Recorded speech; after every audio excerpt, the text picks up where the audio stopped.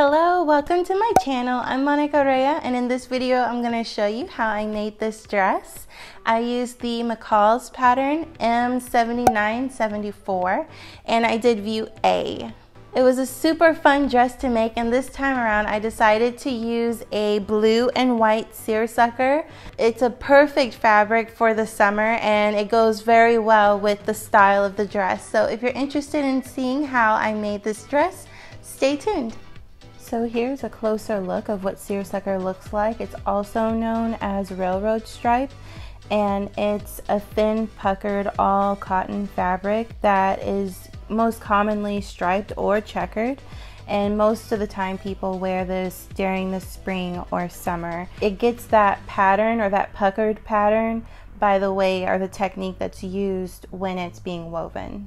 Alright, so we're starting here with the two front bodice pieces and I'm just adding real quickly the gathering stitches at the top and bottom. For the back yoke, I decided to cut it in half so I could play with the stripes of the seersucker to create that little chevron. Here I'm just gathering the front bodice section so that it matches the back yoke at the shoulder seam. And then pinning in place here's the shoulder seams completed with the gathers and then I went ahead and added the back piece to the bottom of the yoke and that also has a little gather and here's what it looks like in the front.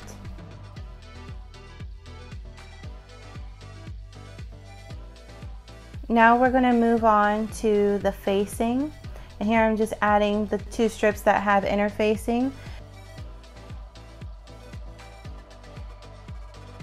and now we're just going to sew around the neckline.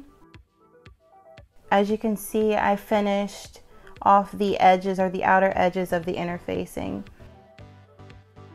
This will give it a nice and neat look once it's completed. So as I'm sewing this around the neckline, what you would do is turn it inside out and then understitch it and that'll allow it to lay nice and flat.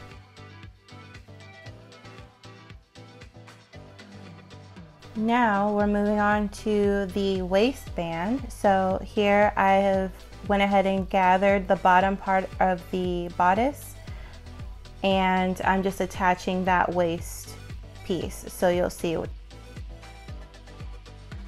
that's what it'll look like. So I'm going to sew down the center front of the waistband.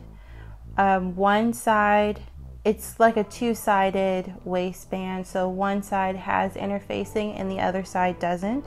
So the side that faces outwardly will not have the interfacing. So in order to attach these and give it a uh, finished look on the outside I'm going to sew down the center front and then across the bottom.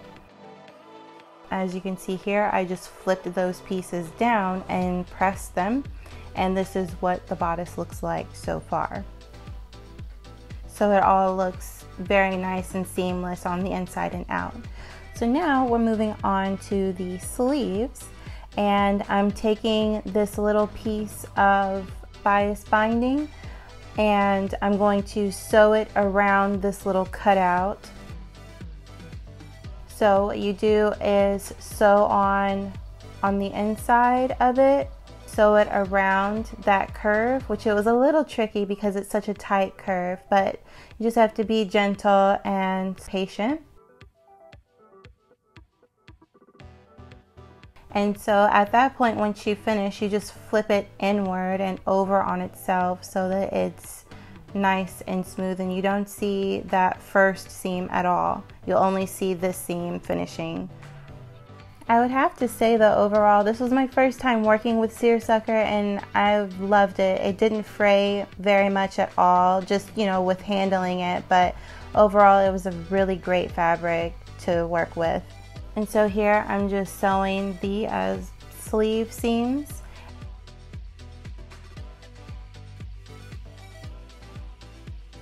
This part is the actual armband and ties that go at the bottom of the sleeve.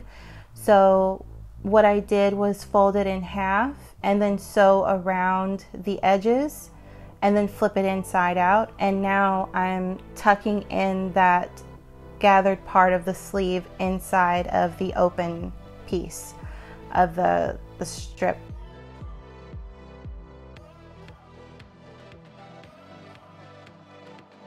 And here's what it looks like all sewn together, one tied and one loose.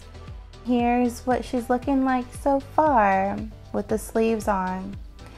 So now moving on to the skirt. So this skirt had a total of seven panels, four panels in the front and three in the back. I'm gonna go ahead and put together the front and back sections.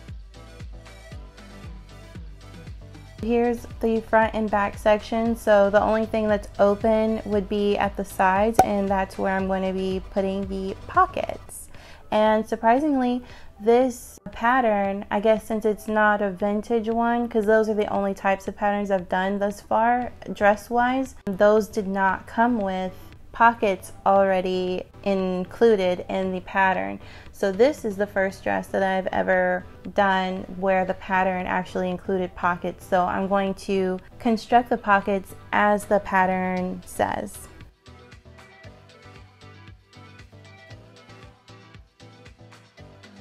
Where I'll stop sewing is in between those. So this one actually has the pockets sewn into the waistband.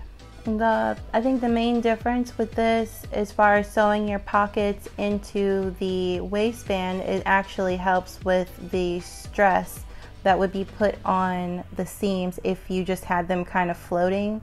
Um, if you're putting like heavier objects in your pockets over time, it would wear down the seams. So this is just kind of like an extra secure pocket. Here I'm just attaching or pinning down the skirt to the bodice. Now that I've got that sewn on, I've decided to go ahead and use the bias binding along the waist as like a waist tape. And here's what it looks like after having the bias binding. I love it.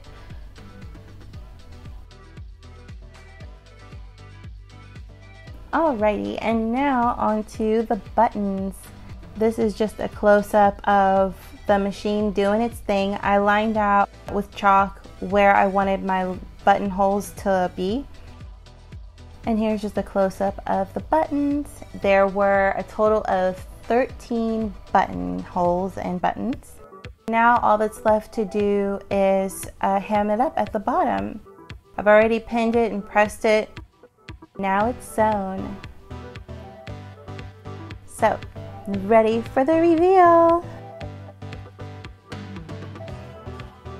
I must say I really love this dress. I really like the style of it and I will definitely be making another one of these as well.